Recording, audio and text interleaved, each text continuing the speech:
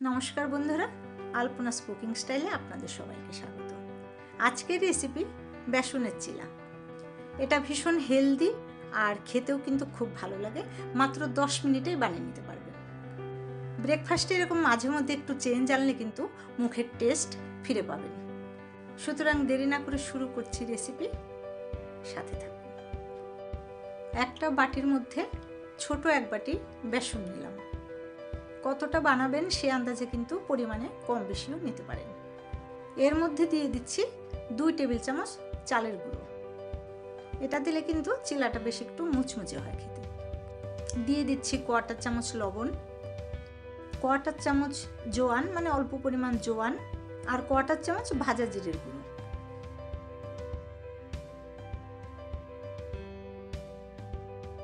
সবগুলো দিয়ে মিশিয়ে নিলাম। এখন পরিমাণ মতো জল দিয়ে একটা ব্যাটার তৈরি করব।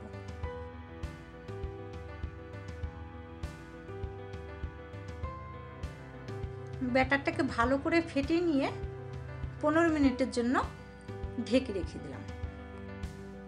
এখন চিলার মধ্যে দেওয়ার জন্য পুর রেডি করছি মানে এগুলো শুধু সবজি দিয়ে হবে। তো এখানে একটা টমেটো নিয়েছি কুচিয়ে কেটে, একটা বড় সাইজের পেঁয়াজ নিয়েছি একটা গাজর নিয়েছি, দুটো তিনটে কাঁচা লঙ্কা নিয়েছি আর নিয়েছি কিছুটা ধনে পাতা। সব ছোট ছোট করে কেটে নিয়েছি।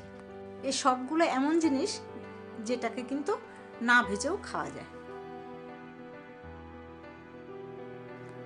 এর মধ্যে দিয়ে দিচ্ছি পরিমাণ মতো বিট নুন। তারপরে দিয়ে দিচ্ছি সাদা নুন, অল্প পরিমাণ চিলি ফ্লেক্স আর দিয়ে দিলাম একটু চাট মশলা। এই সব কিছু কিন্তু পরিমাণে আমি কম কম দিয়েছি। আপনারা যতটা সবজি নেবেন সেইভাবে পরিমাণ মতো দেবেন। চামচ দিয়ে ভালো করে মিশিয়ে পুরটাকে রেডি করে নিলাম। এর মধ্যে একটু আদা কুচি দিয়ে দিচ্ছি। এটা আগের দিকে দিইনি। দিয়ে আবার মিশিয়ে নিলাম।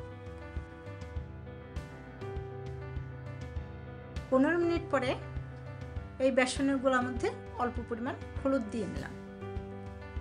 আর হলুদ দিয়ে একটু ফেটে নিচ্ছি। গোলাটা একটু ঘন আছে, তো আর একটু জল দিয়ে দিলাম।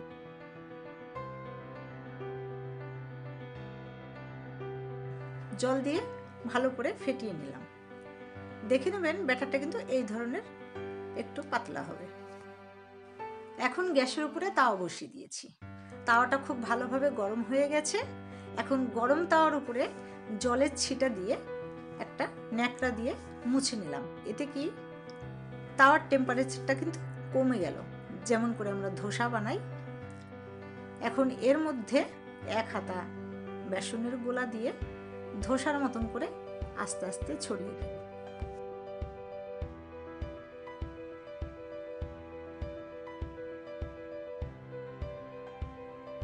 এর উপর দিয়ে অল্প করে একটু তেল দিয়ে দিলাম। তাওয়াটাকে ধরে একটু ঘুরিয়ে ঘুরিয়ে সব দিকে ভালো করে সেঁকে নিলাম। এখন এর মধ্যে এই সবজির পুরটাকে দিয়ে দিচ্ছি। আর ধোসার মতন এইভাবে ভাজ করে দিলাম। বাস। রেডি হয়ে গেল বেসনের চিলা। এটা মানবেন না, খেয়ে দেখুন বানিয়ে। খেতে কিন্তু খুবই ভালো লাগে। এটা দেখতে ধোসার মতন হলেও কিন্তু টেস্ট কিন্তু সম্পূর্ণ আলাদা। এইভাবে প্রত্যেকটা চিলা বানানোর আগে কিন্তু তাওয়াটাকে জলের ছিটা দিয়ে ডাউন করে নিতে হবে টেম্পারেচারটা। না হলে কিন্তু একদম ধোসার ব্যাটারের মতো নিচে ধরে যাবে। এইভাবে বেসনের চিলাটা বানাবেন ব্রেকফাস্টে স্ন্যাক্স বা ডিনারও কিন্তু করতে পারেন। খুব হালকা এবং হেলদি আর জোয়ান দেওয়া রয়েছে বলে গ্যাসেরও কোনো সমস্যা হবে না। রেসিপিটা যদি ভালো লেগে থাকে, আমার চ্যানেলকে কিন্তু সাবস্ক্রাইব করতে ভুলবেন না। শেয়ার করবেন বন্ধুদের সঙ্গে লাইক করবেন। ভালো থাকবেন সবাই, আবার আসব অন্য রেসিপি নিয়ে।